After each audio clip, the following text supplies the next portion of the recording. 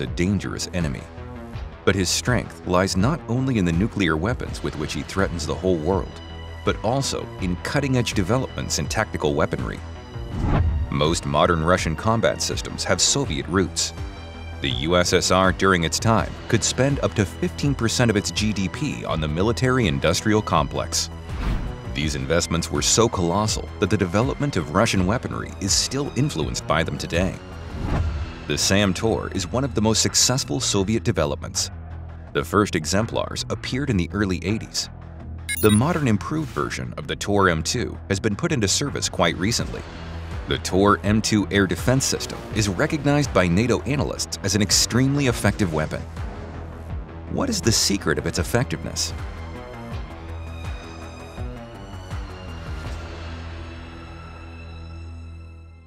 After several weeks of the Russian invasion of Ukraine, it has already become possible to toss aside the advertising posters and get a good insight into the real advantages and disadvantages of these weapons.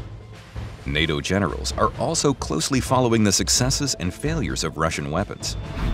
So, the Autonomous Self-Propelled Air Defense System, TOR-M2, is designed to cover troops and facilities from air attacks.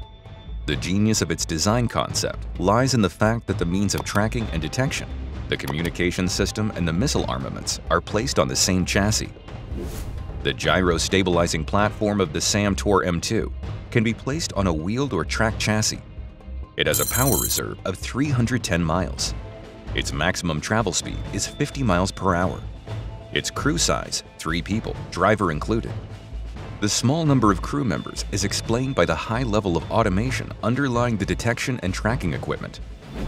TOR protects not only from enemy aircraft, helicopters, and UAVs, but also from guided bombs and cruise missiles, including from hits when maneuvering against precision-guided munitions. No wonder the Tor M2 air defense system held cover of the sky during the Olympics in Sochi. A better defender against attacks with unconventional methods cannot be found. You are now about to understand why. Missiles in the transport and launch container are always ready for launch. The moment from when the target is detected to discharge takes between 3.5 to 10 seconds. No anti-aircraft missile in the world has such specs. The ammunition consists of 16 9M338 guided missiles, adapted to destroy small-sized, intensely maneuvering targets. Working on the creation of the 9M338 rocket took 15 years. Therefore, it deserves special attention. Unlike missiles of previous generations, more modern missiles have a lower mass and smaller dimensions. Therefore, the ammunition load was able to be doubled from 8 missiles to 16.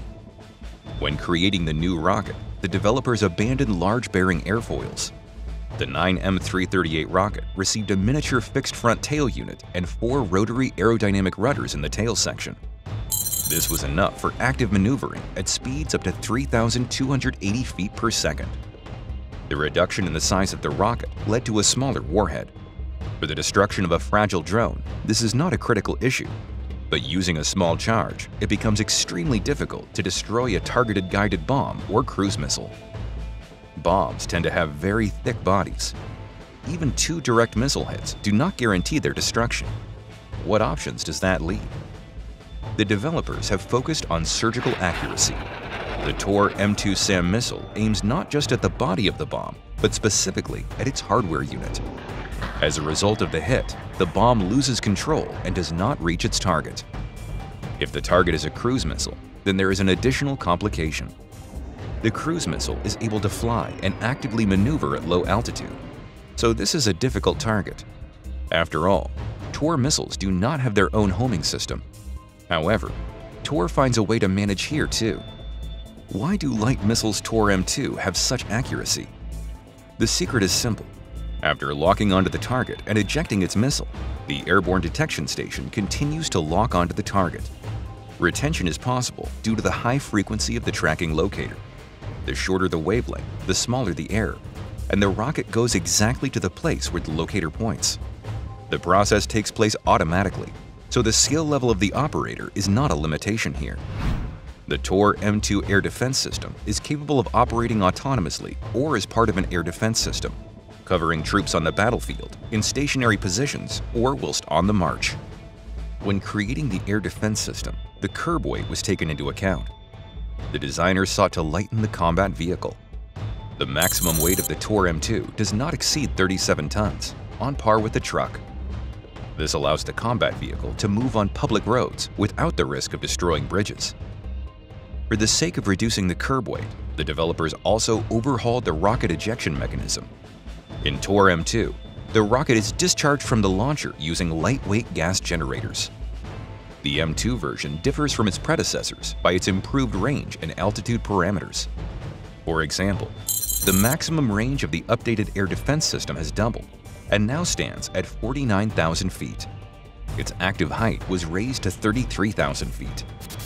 Its effectiveness at low altitude was kept the same.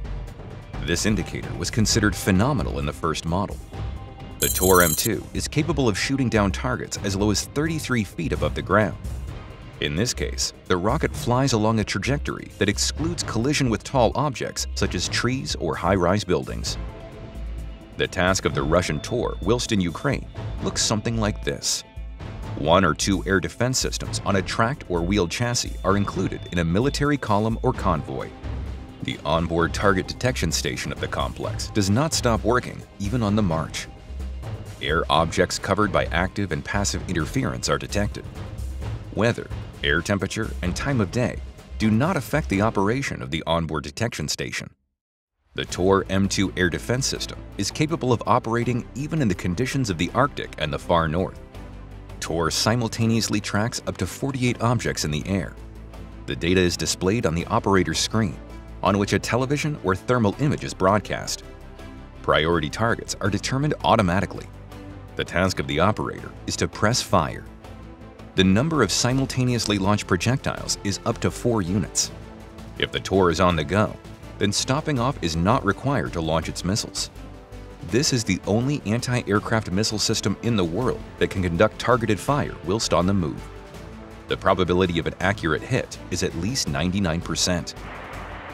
In the first days of Russia's invasion of Ukraine, Columns of Russian equipment under the reliable protection of the Tor M2 air defense system rushed to Kiev.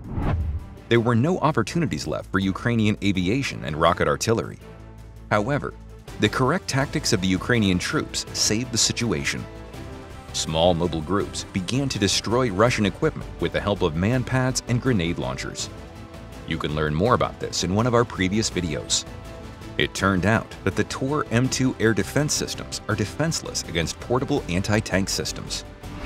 The fact is that Tor is not able to detect targets diving from above an angle of 65 degrees. This cone-shaped funnel above the Tor remains a dead zone or blind spot. And if a rocket manages to fly down from above, then the air defense system has practically no chance of survival. Recall that the Javelin and NLAW manpads have just such a capability to attack from above. There is one more detail. Since the onboard station continues to lock onto the target for accurate missile guidance, the dead zone of the Tor during such periods increases. If a Tor is attacking an aerial target in a southerly direction, then a manpad's shooter can easily attack it from behind or its flank. It is for this reason that many units of the Tor M2 air defense system have been able to be destroyed.